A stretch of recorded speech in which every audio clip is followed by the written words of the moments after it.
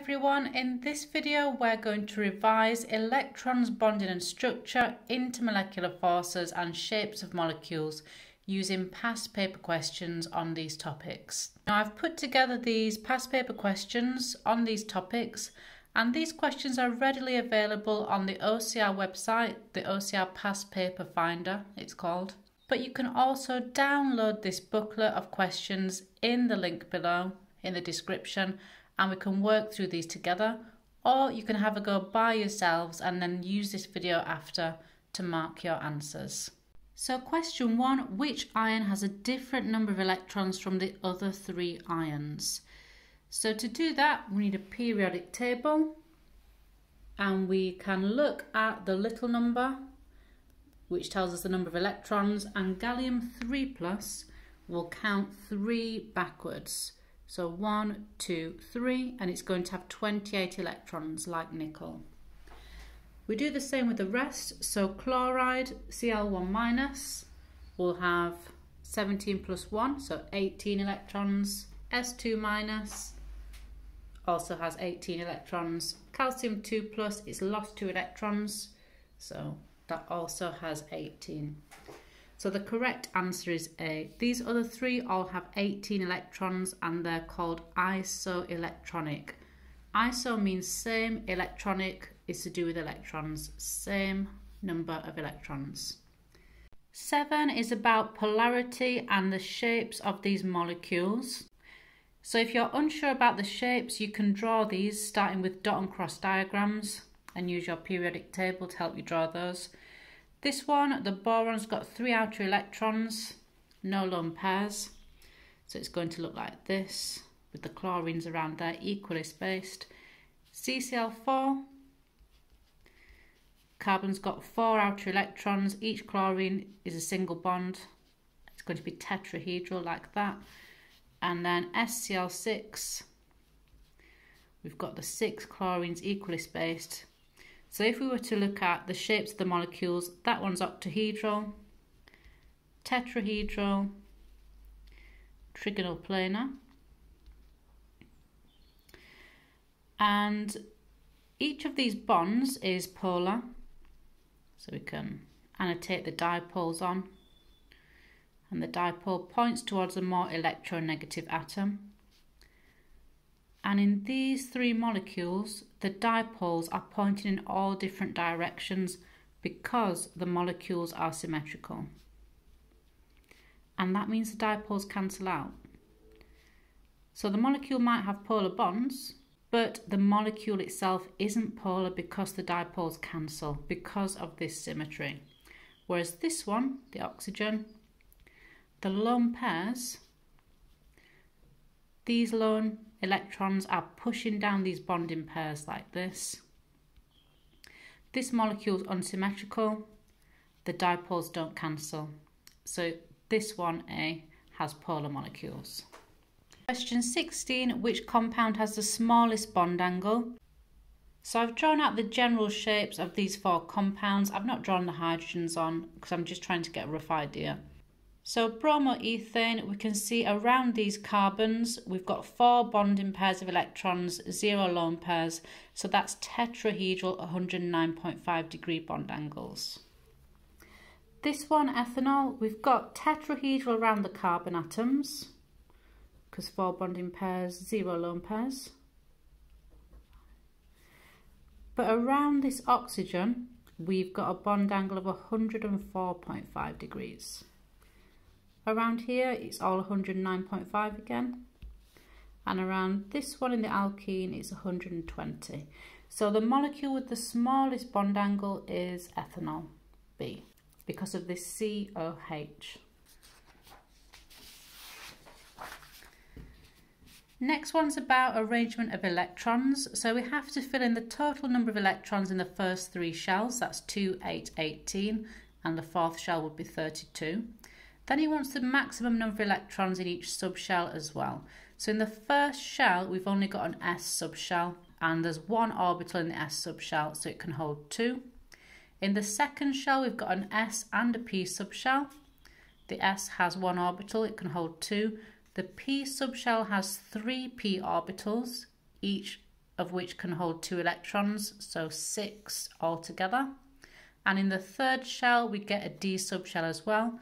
That's got five orbitals, each which can hold two electrons, so five times two is 10. With this next one, we've got two isotopes of selenium. We find selenium on the periodic table, or in fact it tells us here, and the little number is 34. That's the number of protons and electrons. So they're going to be the same because if it was a different proton number, it would be a completely different element. If the electrons changed, it would be an ion, which it's not. There's no charges there. The only thing that change in isotopes are neutrons, the number of neutrons. So to work that out, we do the mass number minus the atomic number to get those. Next question's about nickel and gallium. So nickel, that's in the D block. It's here in the middle with the transition metals. Then it's asking us for the electron configuration of gallium, which is over here. So we just write out the electron configuration until it adds to 31, the number of electrons for gallium. Or we can do it an easier way. Um, I've linked one of my previous videos in the description below that explains how to do this properly. But we've got one, two, three, four. So in the fourth period, and it's going to end in 4p, because we're in the p block, 1, because we're 1 across in the p block. And then we just fill in everything before that. Next, we've got a question about bonding. So defining an ionic bond is the electrostatic attraction between oppositely charged ions. Then we have to do a dot and cross for potassium sulfide. We've got a metal and a non-metal, that means it's going to be ionic, so we need square brackets and charges. We can show the empty outer shell in the potassium or the full, out, um, the full shell underneath, either's fine. And you might have drawn this out twice, or you can just put a big 2 in front, which is probably quicker. That'll save you time. Next one, it wants you to draw sulfur difluoride. That's covalent because we've got two non-metals. Fluorine likes to form single bonds, so it looks like this. And you could have made sulfur the crosses and fluorine the dots. It doesn't matter if you've done it the other way around. The thing that matters is the correct number of bonding electrons and the correct number of lone pair electrons on the sulfur. Then it's talking about two different substances, one being a solid and one being a gas at room temperature, and it's asking us to explain this using structure and bonding. So potassium sulfide, that's got a giant ionic lattice structure with strong ionic bonds, so it's going to have a higher melting and boiling point.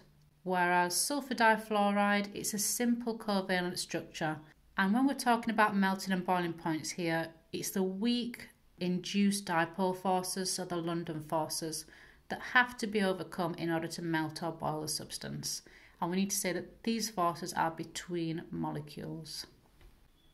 The next one is asking about SF6. So that's a common example of an octahedral molecule and its bond angles are 90 degrees. So anything with six bonding pairs, zero lone pairs, octahedral 90 degrees. Then it's asking us why it's unreactive. So a common reason for anything to be unreactive is that the bond enthalpy is high, or we could say the bonds are strong. We could also say that this molecule is non-polar. Question 9 is about Hund's rule. So that's about how in p orbitals and d orbitals electrons go in singly first and then they start pairing up. So we've got four elements. You might want to write out the electron configuration to help you. These are each of the three p orbitals in a p subshell and phosphorus is the one with three singly occupied p orbitals in its p subshell. So the answer is D, phosphorus. Got some more multiple choice. Which compound has the highest boiling point? So we've got ethanol, which has hydrogen bonding intermolecular forces, which are the strongest type of force. We've got heptane, so seven carbon chain. Sodium chloride, now that's a giant ionic lattice structure. So this one is the one with the highest boiling point because it's got a lot of strong ionic bonds that need to be broken in order to boil the substance. Next question is about electronegativity. It's asking which bond has the correct polarity. So it's asking which of these has delta plus and delta minus in the right place. Now the element that takes the delta minus, the partial negative charge, should be the one with the highest electronegativity. So here, chlorine's got a higher electronegativity than bromine. These are the wrong way around. Same here, chlorine should be delta minus. Fluorine is the most electronegative element, so it should be delta minus. This is the only one that's correct.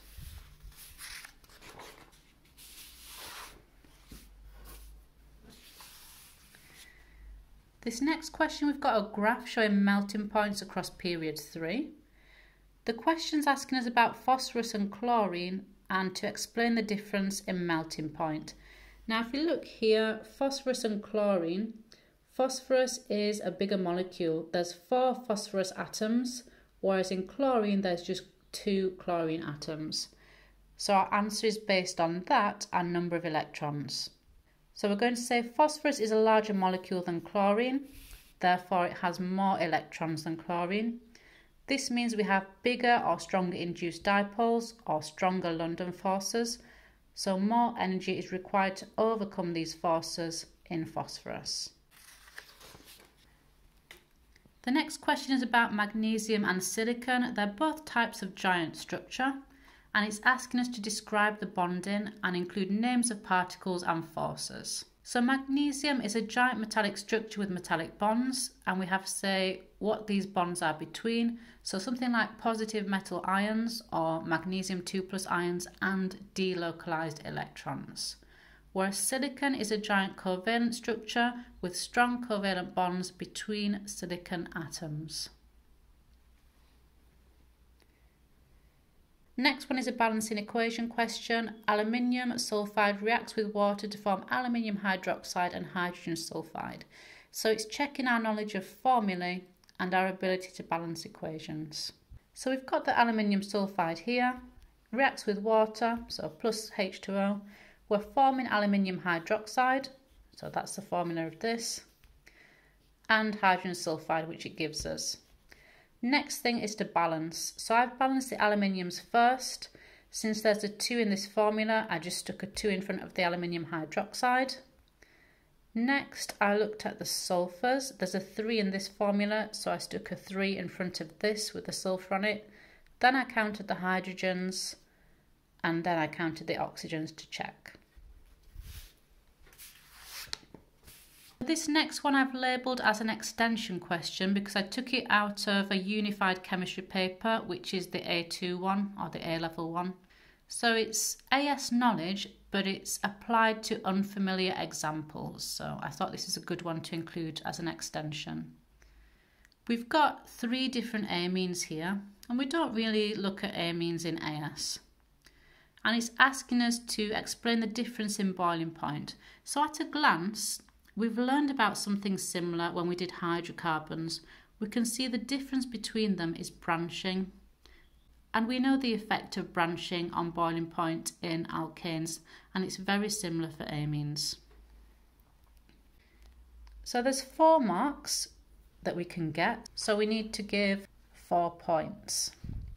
The first thing to pick out is that this one is a straight chain unbranched amine and that means it has more points of surface contact between molecules so it's exactly the same explanation as for hydrocarbons. This means the molecules can pack more closely and the London forces will be stronger. Whereas these two are branched so they can't pack as closely and they'll have weaker London forces. However, since they're amines, the nitrogen is a highly electronegative atom with a lone pair. It has a neighbouring hydrogen. Well, these two do. That means these two are capable of forming hydrogen bonding interactions. This one isn't. It doesn't have a neighbouring hydrogen atom. These are methyl groups. It has neighbouring carbons, but not a neighbouring hydrogen. So the next thing we talk about is that these two can form hydrogen bonding interactions. this can't because it doesn't have a neighbouring hydrogen. Therefore, more energy is needed to overcome the forces in this molecule compared to the others. And we mentioned that hydrogen bonds are stronger than London forces. Last question is about shapes of molecules. So these molecules might be unfamiliar to AS, but we're applying AS knowledge to work out the shapes and the angles. So we have a carboxylic acid and it's asking us, we've got three bonding regions. We can see they're equally spaced. So the bond angle is going to be 120 and trigonal planar. Three bonding regions and no lone pairs. This one, it's asking about the bond angle around the oxygen. We can see that's non-linear, just like water. So the angle is going to be 104.5 or it allows 105 and it's non-linear.